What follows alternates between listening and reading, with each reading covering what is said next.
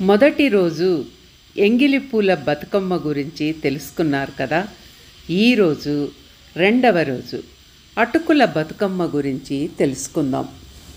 అటుకుల బతుకమ్మను ఆశ్వయుజ శుద్ధ పాడ్యమి నాడు చేస్తారు. చప్పిడి పప్పు బెల్లం అటుకులతో నైవేద్యం తయారు చేసి అమ్మవారికి సమర్పిస్తారు.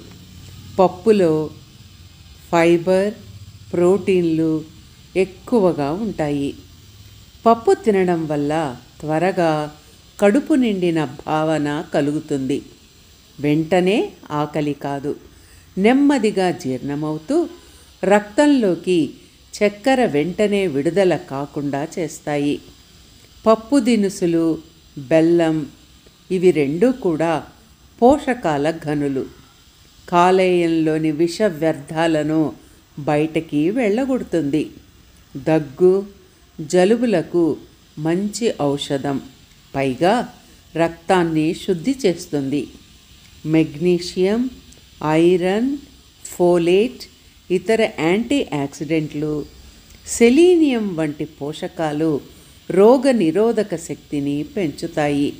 ఇక అటుకులు చక్కెర స్థాయిలను నియంత్రిస్తాయి. అటుకులు తేలిగ్గా జీర్ణమవుతాయి. ఇవి పిల్లలకు గర్భిణీలకు బాలింతలకు చాలా మంచి ఆహారం.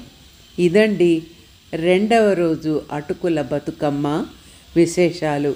రేపు ముచ్చటగా మూడవ రోజు ముద్దపప్పు బతుకమ్మ గురించి తెలుసుకుందాం.